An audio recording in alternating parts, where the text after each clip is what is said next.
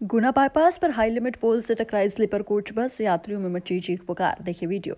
श्योपुर ज़िले के देहात थाना क्षेत्र अंतर्गत आने वाली गुना बाईपास पर बुधवार की सुबह एक तेज रफ्तार स्लीपर कोच बस यातायात पुलिस द्वारा लगाए गए हाई स्पीड पोलर से टकरा गई, जिससे बम में सवार यात्रियों में चीख पुकार मच गई। गनमत ये रही कि इस हादसे में किसी यात्री को गंभीर चोट नहीं आई।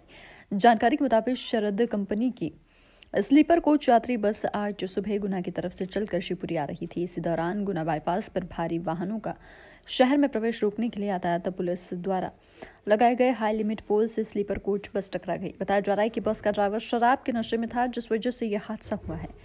फ़िलहाल बस को लेकर ड्राइवर मौके से फरार हो गया वही पुलिस ने मामले की जाँच शुरू कर दी है।